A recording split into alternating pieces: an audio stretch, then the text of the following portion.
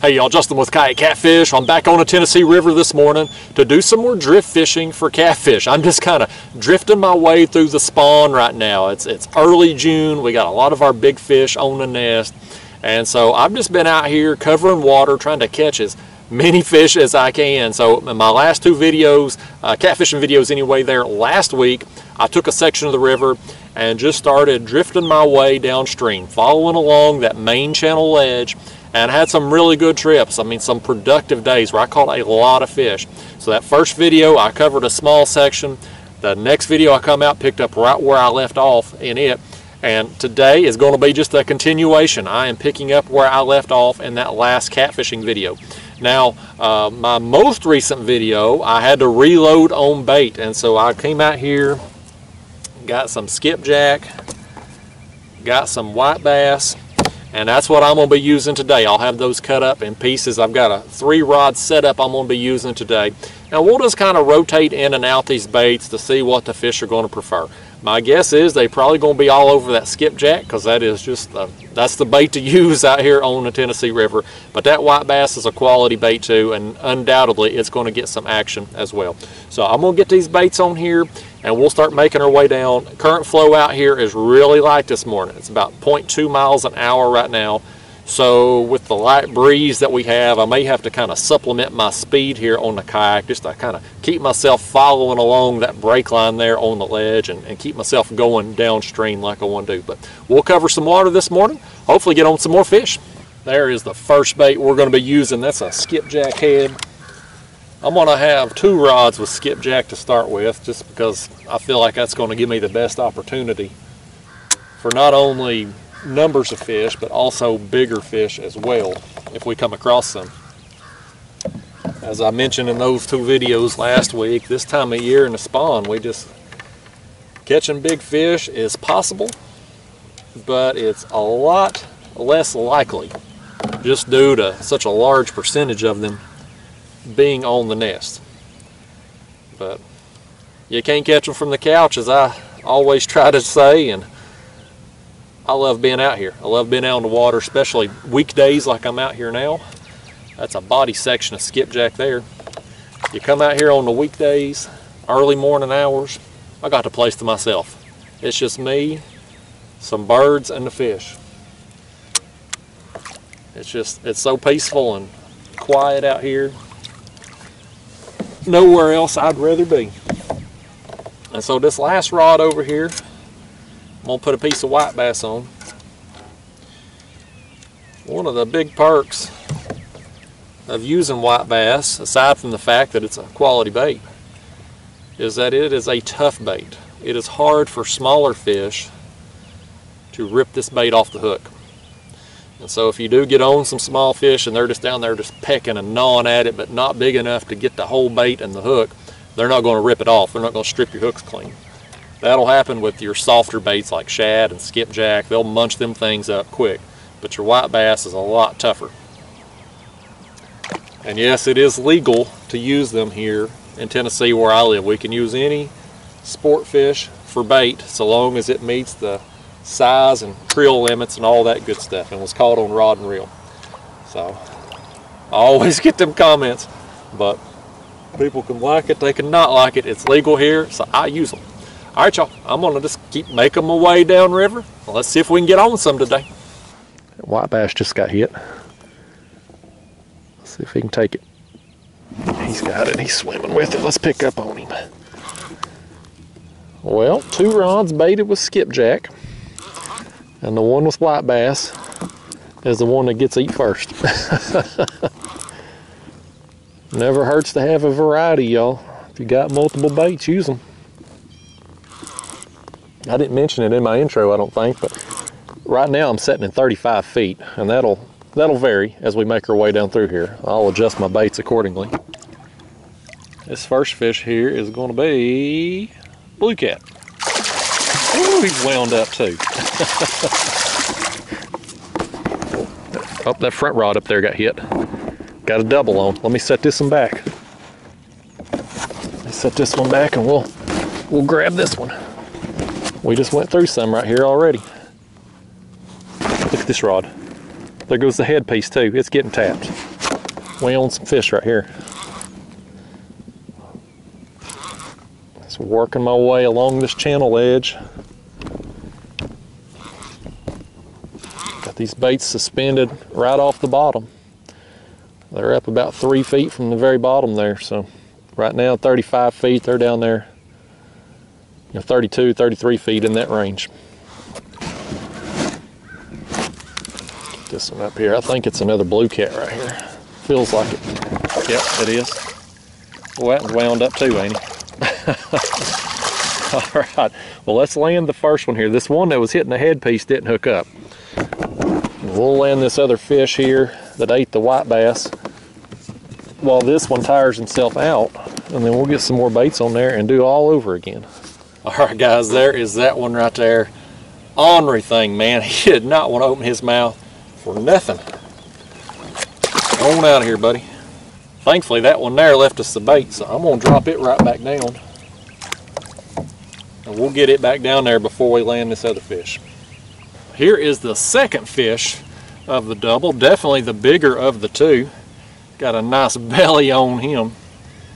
That one ate the skipjack, so we'll let him go. I've got that other piece of white bass already back down there. We'll rebait with a body section of skipjack. And we'll see if we can get us some more, hopefully a little bigger than these two today. See you, pal. There's the next skipjack body piece. Down it goes. Look at there, looky there, that's on the head. Let's pick up on him.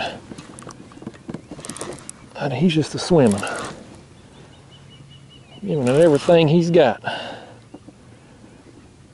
And I'm using my three rods today. I've got two of these Academy roughneck rods I got on clearance there a few weeks ago. And then I've got a uh, one of my old Ugly Stiks on there as well.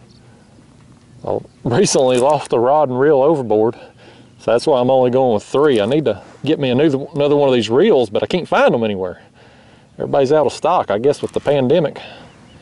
They're having trouble getting their supplies re redone, so I gotta keep an eye out. That's a good fish, man. I thought he felt good. I thought he felt good. Yeah, buddy.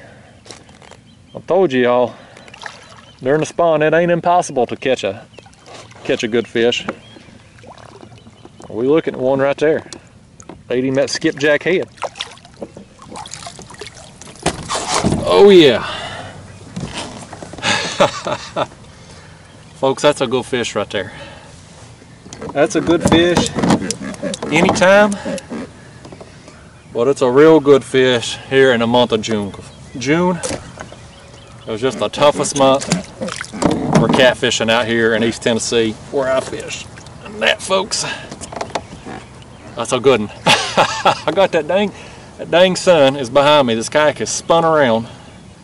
I ain't gonna get a good picture, but that's all right. I got to enjoy the fight, and that's all that matters. All right, I got my pictures there with the other camera, so let's let him go now. He'll go down there and get even bigger. Hopefully we'll see him again someday. See you, pal. Get on out here. Take off for me. There he goes. he didn't know which direction he wanted to go. I know which direction I want to go, though and that is straight down this river channel here to find even more fish today. I'm putting another skipjack head on that rod. That fish had left me the bait, but I guess when I tossed it overboard, that rod right there is getting hit. I guess when I tossed it overboard there after I'd unhooked him, the dang thing fell off. So we're gonna lower it back down and I'm gonna see if this one right here is hooked up. I believe it might be. Looks like my line's kind of swam out that way get this line set. People ask me why I dip my rod tip down in the water uh, when I'm lowering my baits down. What I'm doing here, y'all, let me redo it. So you'll see me kind of bounce my rod tip up and down. That's me feeling my sinker down there. So now I know my sinker's on bottom. So what I'll do is I'll reel my rod tip down into the water a little bit, lift it up, and set it in the rod holder. So I know now between looking at where my rod tip's at and the water surface and the length of my leader that my bait is right down there where I want it to be in kind of that two to three foot depth off the bottom. So that's just a, a simple thing that I do just to know where my bait is at down there, make sure I'm at the right depth. Are there other ways to do it? I mean, other people have suggested, you know, using line counters on your reels, all that crap. This is real simple and easy. I can set my baits like that and know exactly where they are. So that's why I do that. Let me pick up on this rod now. I think, yeah, he's on there. This one's on there too.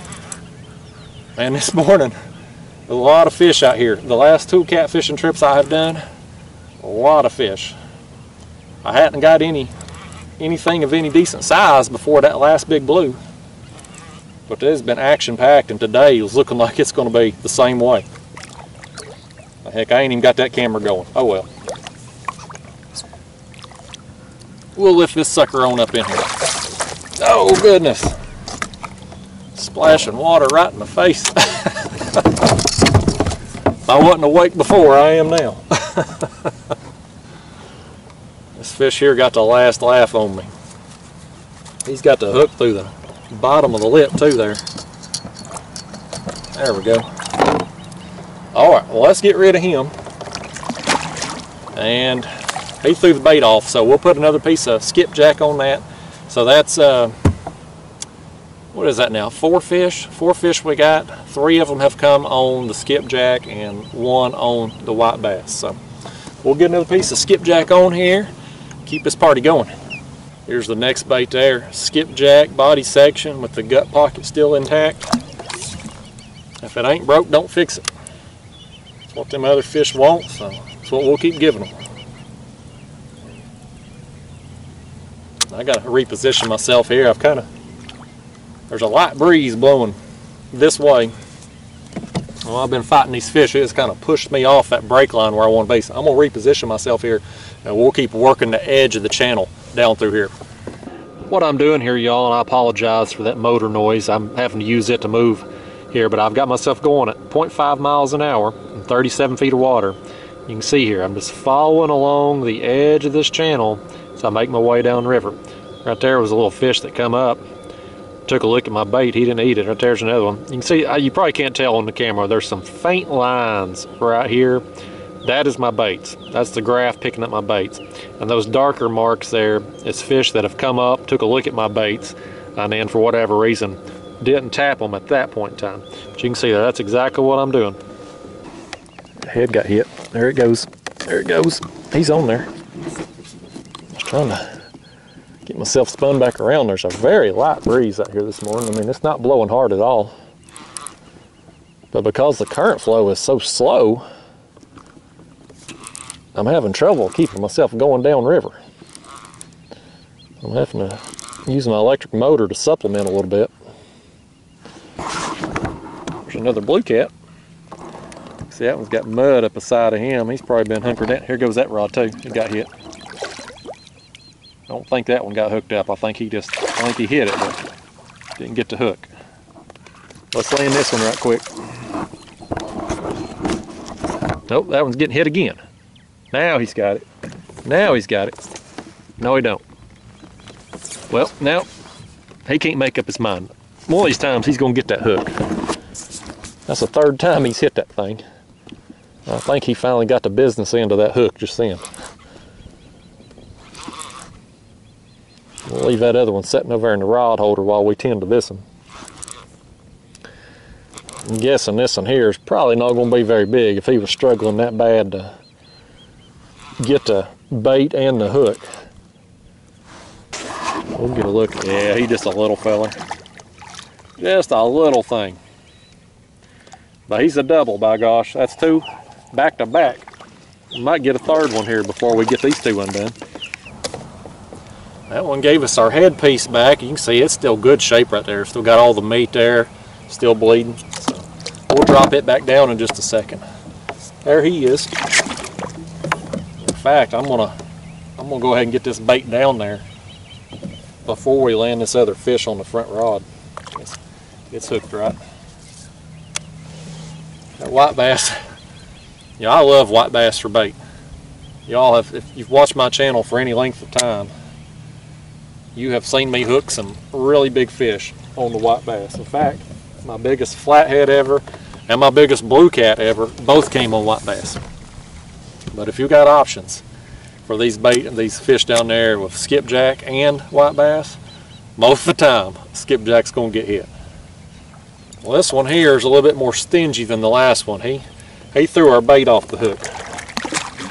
So we'll we'll give him the stink eye on the way out and stick us another bait on there. I got plenty of bait today, so that's not a big deal. We're not going to run out today. Right here. Finally got another one on the white bass. And wasn't able to bait that other hook yet. I get this one up here, even if he does leave the bait on the hook, I'm gonna go ahead and switch it out so we get a fresh piece on there. If I didn't have a surplus of bait, I would reuse this bait again. But again, I've got enough bait today, we're not running out. So we'll go ahead and keep everything fresh. Let's see. Yep, another blue cat. About the same size as that last little one we got. Here's this bait. I'm gonna drop it down right fast before we land this other fish. I'm trying to be as efficient as possible out here when you when you get in this kind of action. It's hard to keep three lines going. I don't even miss that fourth rod right now. My bank account's gonna miss the money when I have to replace that reel. But I ain't missing the fourth rod right now because I can't keep these three in the water. There he is. He flung that bait off, but that's that's all the same. I was going to replace it anyway. So we'll get rid of him. And I'm y'all, I'm kind of just I'm sitting here right now. Between the current flow being so light and the, the light breeze that's out here right now blowing me upstream, I'm moving at 0.1 miles an hour according to the graph, and I honestly don't know which direction I'm going. So we're going to get this bait on here, and I'm going to get myself spun around and just use the electric motor to supplement and keep myself trolling down through here. Try to keep my speed still slow, you know, 0.3, 0.5 miles an hour. I don't want to be moving too quickly, but still just try to try to cover some water and hopefully come across some big fish today. That's my my real reasoning out here for drifting these last few trips is to try to just cover as much water as possible and put my baits in front of as many big fish as possible. And uh, I already got one here this morning. Tell you what let's do. Let's put that white bass head on that rod. I was going to put another body piece on there, but we'll we'll put a head piece on. And see if we can't improve the quality of the fish we're getting. Right here. There goes that skipjack head. Oh goodness, man. Turn that electric motor off right quick so we can hear what's going on here. Been on this headpiece today, ain't he?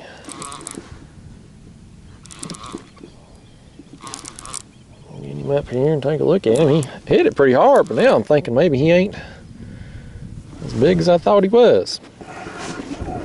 I don't know, he's well, about the same size, I guess. Another dink. When I first picked up on the rod, he felt a little bigger than he turned out to be. Y'all, I ain't hardly made any progress down through here. I mean, I'm just, these fish are just all over this section of the river right now. All over. They have been, well, since I was out here last week. There he is. I think this other one over here that hit this piece of white bass may have it. Yeah, he does. He does have it. Yeah. He was hitting it there while I was about to land this one, and I thought, well, maybe he didn't have it. So I went ahead and thought, we'll take care of him. Yeah. it's fun when it's like it. I don't care if they ain't very big. When you got all these rods just constantly going down, it's fun. Yeah, that in there. He eat the white bass head, but he ain't, ain't very big either. Let's set him back. Let's set him back and get this bait situated. Again, this bait here, you can see it's still in good shape. Uh, I think that's the second fish on that particular head, but don't matter. I'm gonna send it down and we'll keep using it until it gets torn up or gets the meat and the blood there eat out of it.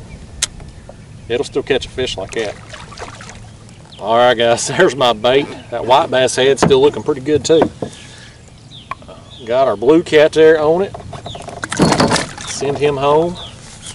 And I'm gonna get it back down here on the hook. And we're gonna catch another fish on that thing. These head pieces, they don't always, I mean, they don't just catch the big fish. Obviously the small ones like them too, as we've seen here today. But they're, they're the toughest part of, of any bait, really. You can usually get the bait back. But you can see all that juice and blood and the meat there. That's still a good bait. I'm gonna send it back down and try to get myself turned around and keep working downriver. I don't know how far we'll make it before the next fish comes along. There goes that front rod. Let's pick up on it. Let's pick up on it. Uh, he's going back up river here. He's going to spin me around. I kind of had a little, just a little bit of a lull. Maybe 10, 15 minutes here, and I've made some progress down this ledge. It's just a matter of time before we get back on them. They're all up and down this stretch of the river right now. They're just stacked in here. I'm out here taking advantage and having some fun this morning. Where's he at here? Yep, another blue. Same size we've been getting. They are just cookie cutter size dinks, but man, there's a lot of them. Oh, oh, there goes that rod. There goes the head, y'all. Well, I don't know if that hooked up or not. He tugged on it, but I don't know if he got the hook. There's that old ugly blue cat right there. I don't think that hooked up. I don't think he did. I've got some more fish here on my graph. I'll show you if the glare ain't too bad. You can see right there, some more fish that we're sitting right on top of right now. So I would not be surprised at all if one of these other rods goes down here in a second. White bass head is getting messed with but not eaten. He may have it that time. He wants it. Can he get it? I think he may have it, y'all. Let's pick up on him. Let's pick up on him. Yeah, he got it. It took him a minute, but he got it. oh, this one behind me got hit too here. He didn't hook up. Another one in front got hit. There he goes. All right, let's deal with the one in our hand here first. Get him up here. And we'll pick up on that front rod. I think that one on the front's definitely hooked. Yep, a little blue there. It's a small one. Let's pick up on the front. Surely this one here is a little bigger than the other one over there. I kind of had a little dry spell. A few hundred yards without getting any dink taps or nothing, but I knew as many fish are in here. It was a matter of time before they found my baits again, or we found them. Yep, another blue. All right, let's land these things. Well, there's the fish number one of the double. Now let's pull in number two. Oh, he just flung that bait off right there too. Oh, Doggone his hide, I thought I was getting it back. Let's bring him on in. Oh, oh, oh, oh goodness. Goodness now. he wasn't ready to come in. He said, heck with this. He said, I'm getting out of here. All right, now that you've calmed down, we'll unhook you and let you go. All right, guys, well, I'll tell you what. I think I'm going to wrap up the video portion of this day. I'm not done fishing yet. I'm still going to cover some ground or cover some water here and keep catching these fish. But this video, as many fish as I've caught out here this morning, it's probably going to be a longer video as is. Going to take me quite a while to edit. So I'm just going to leave that front camera going in case I hook any monsters down through here. But otherwise, this will probably just be the end of the video.